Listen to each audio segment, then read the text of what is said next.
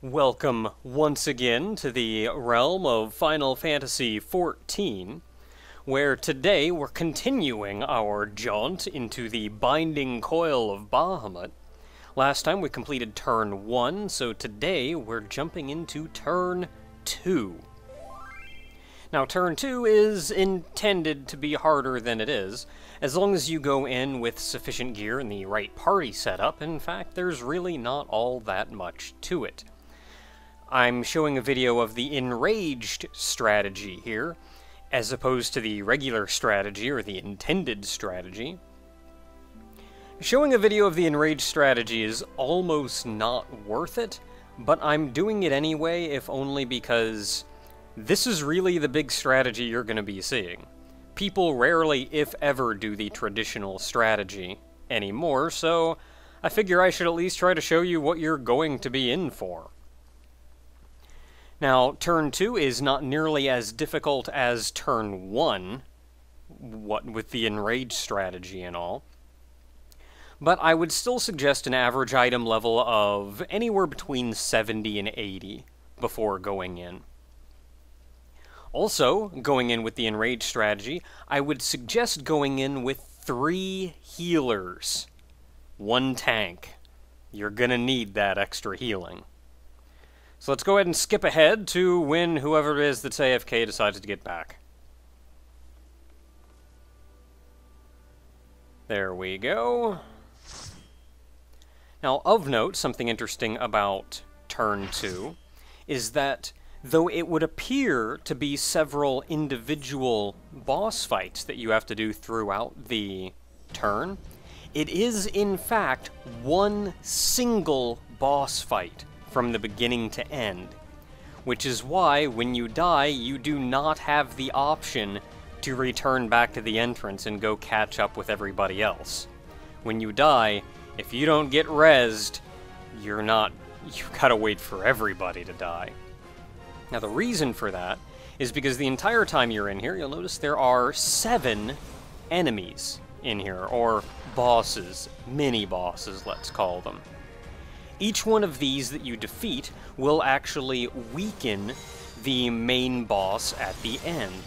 Or each one of the six surrounding it will weaken the one main boss at the end. The Enrage strategy generally foregoes a lot of this and instead focuses on simply getting to the boss and then waiting for its enrage. You see, as soon as you actually enter this arena, the final boss starts counting down. And if that timer hits zero, it doesn't matter where you are, it doesn't matter what's going on, you're going to start taking some really heavy raid-wide damage.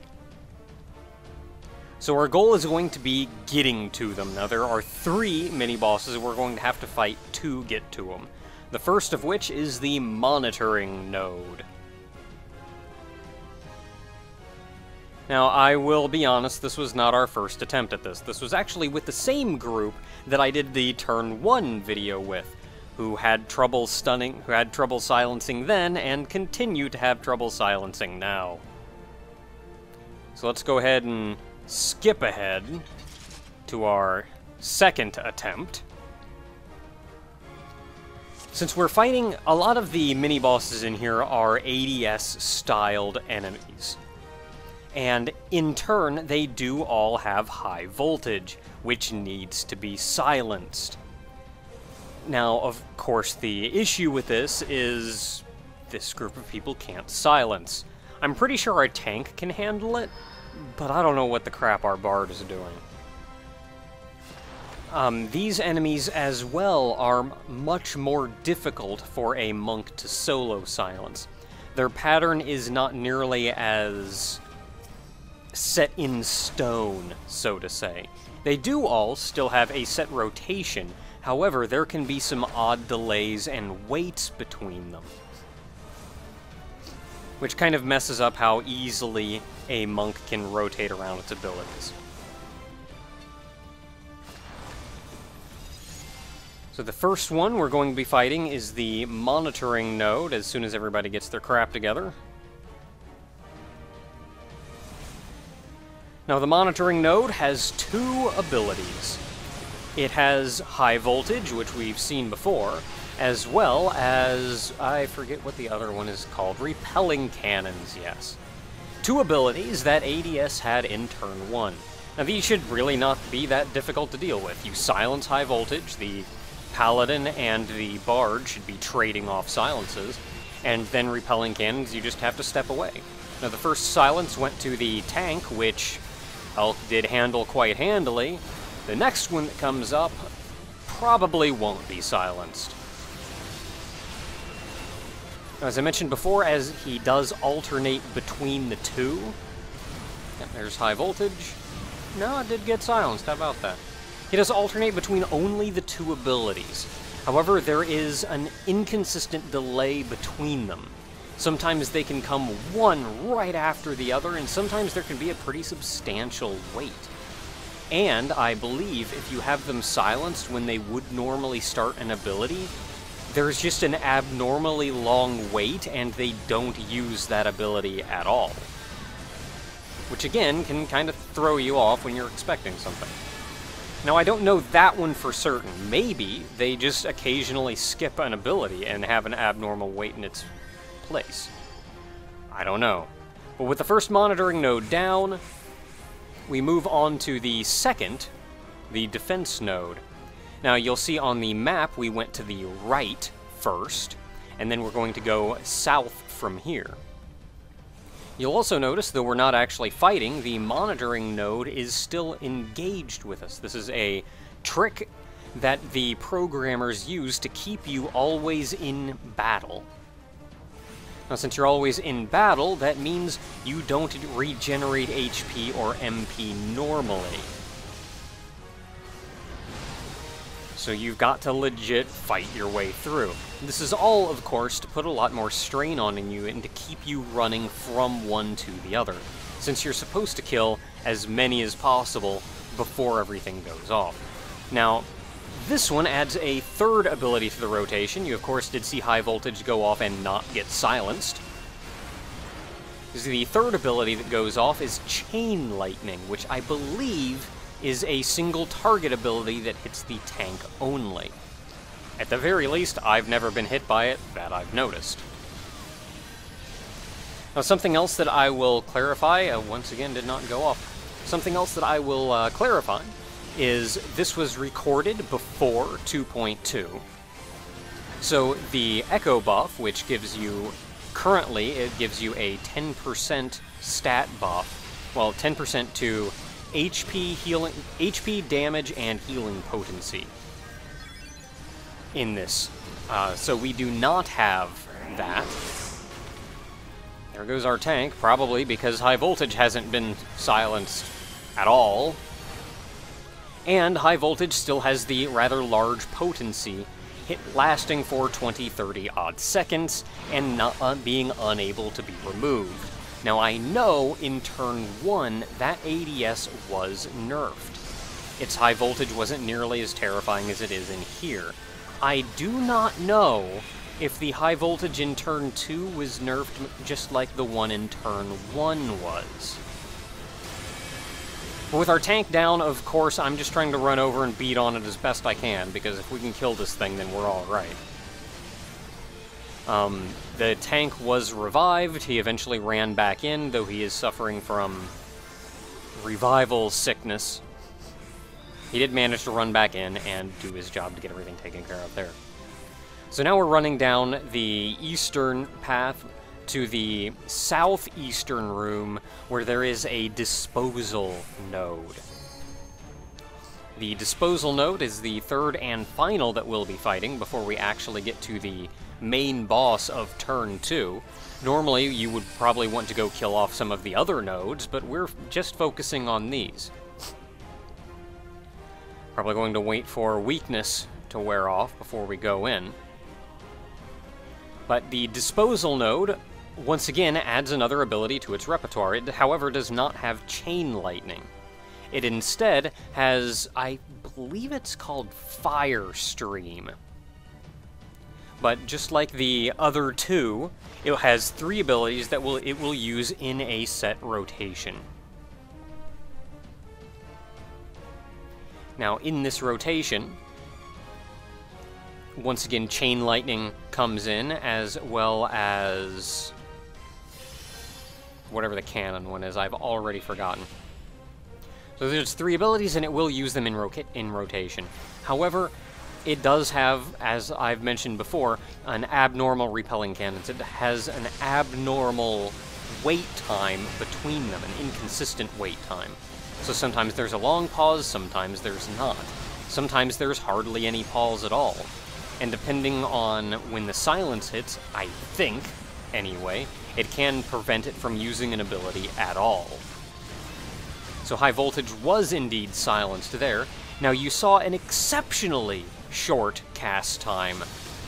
If you see that short cast time, if you see it just blink up and be gone, get away from it. It's about to use Fire Stream. At least I think it's called Fire Stream. It's right there. You can read it. I can't because the resolution is so low while I'm editing but it's about to use that. And if you wait until the last second, you may have a hard time getting out of range in time. So instead of waiting for the large marks on the ground, if you just see that really short cast time, back away from it. Other than that, it's just a matter of beating it down just like all the other ones, silencing high voltage, and getting out of the way of repelling cannons. Now, I'm actually making an attempt to silence high voltage here because I'm getting kind of tired of their inability to silence high voltage. And you saw there, it used repelling cannons immediately after Firestream. Immediately! Almost no delay. They were actually both visible at the same time. And that's what I mean by there being little to no delay. Now, you'll notice there has been a charge complete in however many ticks thing counting down up until now, that is the boss's countdown to it going into enraged mode and essentially wiping everyone. Now, this is the enraged strategy that we're doing, so now we're just gonna wait.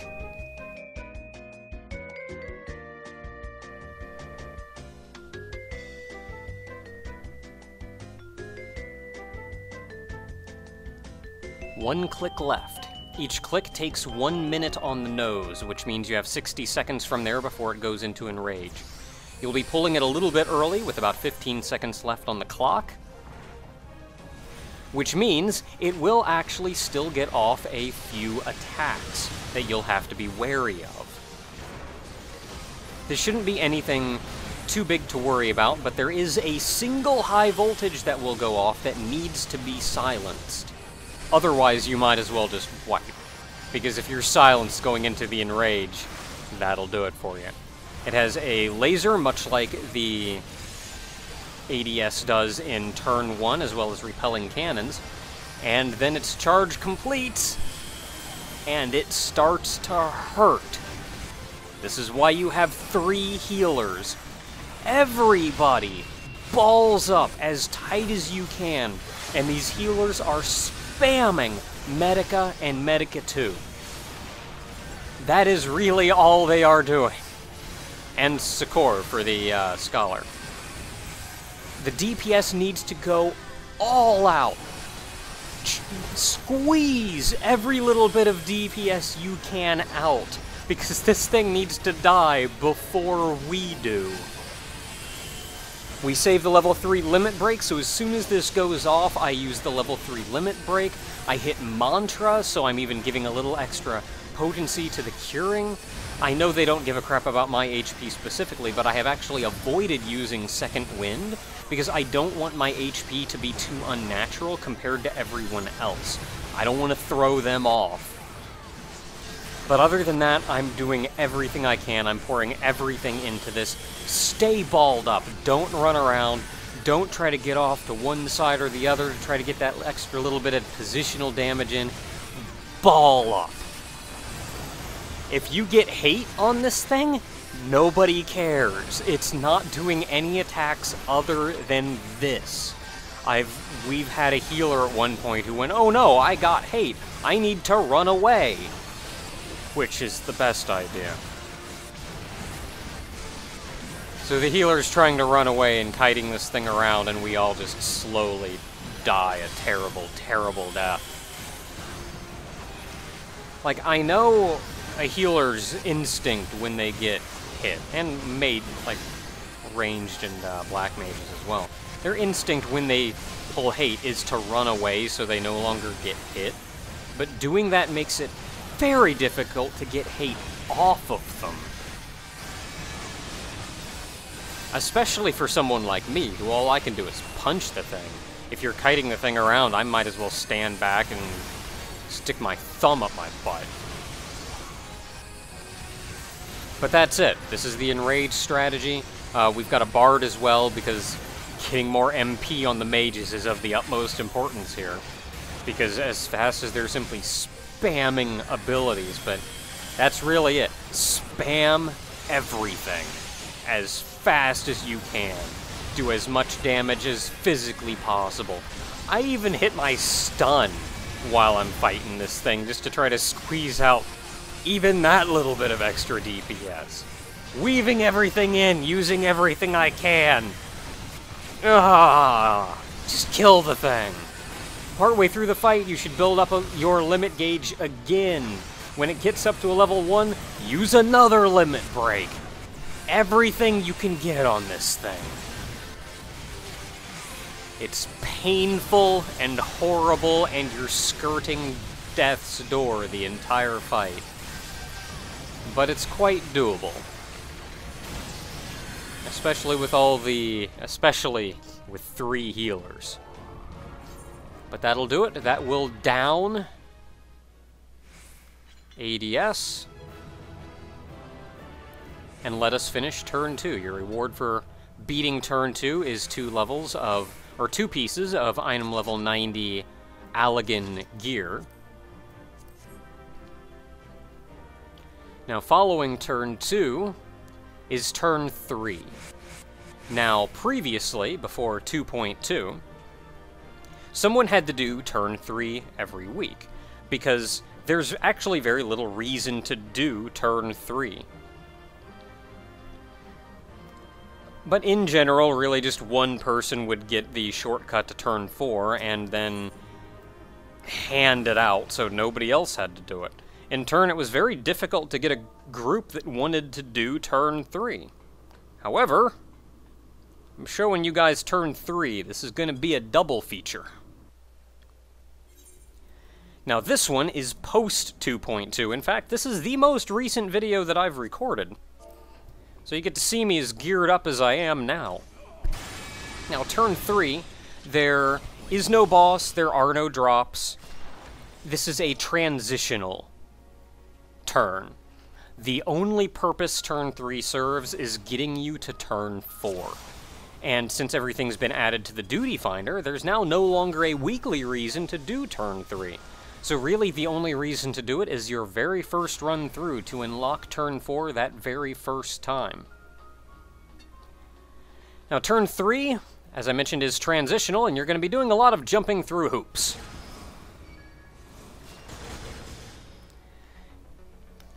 As somebody in the chat mentioned, when you jump through, when you find one of those little platforms, you always want to aim it at the large blue circles. Those will send you forward. Now, even all the enemies in here, there's actually no reason to even kill all of the enemies in this turn. There is nothing standing between you and the end but a switch or two along the way. You don't actually have to kill anything. We realize that eventually. But if you stand on the little platform, it'll bounce you up in the air and take you to somewhere else within the turn. Which you saw us do to get down here.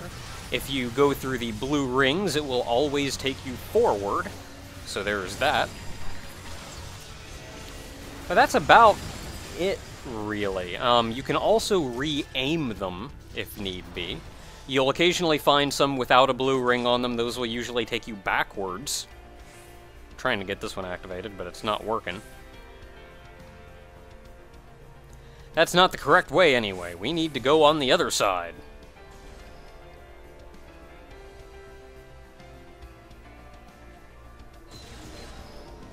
There we are.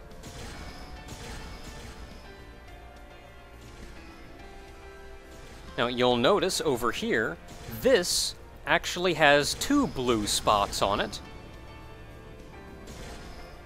And those two blue spots actually mean this can be aimed one way or the other. And we just got it to shoot us backwards. To get it to re-aim the correct way, go stand on the blue thing, and it will re-aim. You always want to aim it towards the blue circles, as I mentioned before. And we hop on down. There's a dark matter golem that looks like everybody's beating on, so I start beating on it as well. And then the person he has hate on jumped down, so... Down he goes too.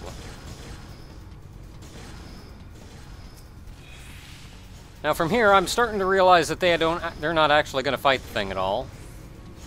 Try to re-aim the thing to go through the blue ring, because everybody else decided to go in the other direction. They'll be back shortly.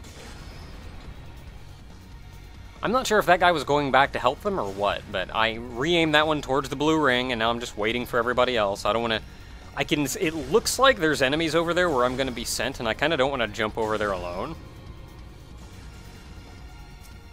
But somebody gets hate, and everybody else just goes forward. Now, in this turn, um, before 2.2, generally this turn was simply speed run, which also made it very difficult to get a, a decent video for. And by speed run, I mean a couple tanks, like two tanks. Like whatever tank you had in turn two, really and anybody else who happened to have a tank class would all go in here and just blitz to the bottom. Everybody else, like the six other people, they would just sit on their thumbs at the start. Because the tanks, they were they had their business, they knew where they were going and what they were doing, and there was no reason for them to do otherwise. So, to be honest, if you decided to go down and try to follow them, not a whole, like, they'd pretty quickly leave you behind. Now, we take a little bit of damage from the turning on the switch there, as I did, but that does let us move forward, and it gives us a shortcut. So now, if we die, as I did, as a lot of us did, we can now actually shortcut back to where we were before. But I think there are only two of those switches. The first one you actually saw they had hit before I even got there, and then that was the second one. I think there are only two, which means from here we just need to get straight to the end. And of course I come down right in the middle of all the little goo balls, so I got beat pretty hard there. I'd kind of like some life back, but I'll... I don't want to get left behind either.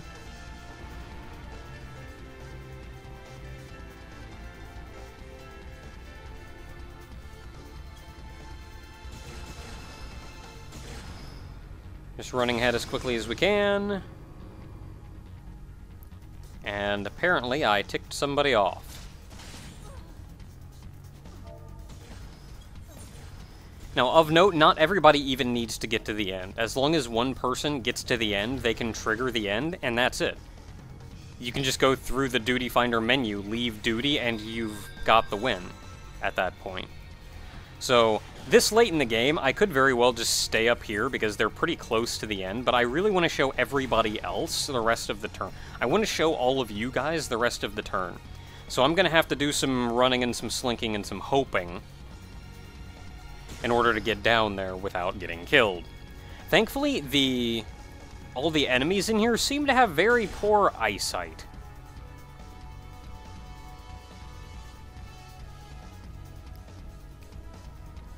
There is maybe one or two situations in this where you're not necessarily jumping through a hoop. I'm not really sure where that guy's going. Where you're not necessarily jumping through a hoop,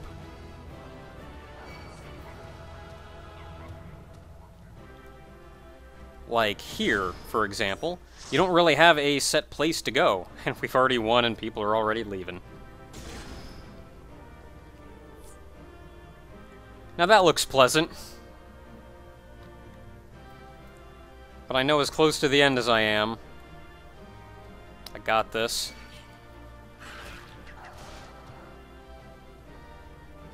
I like that I'm far enough ahead of them, and I'm running so fast, that the red spot you saw for the AoE was way back there behind me. And that's the end right over there, the little glowing portal. If I can slink by this golem without being seen.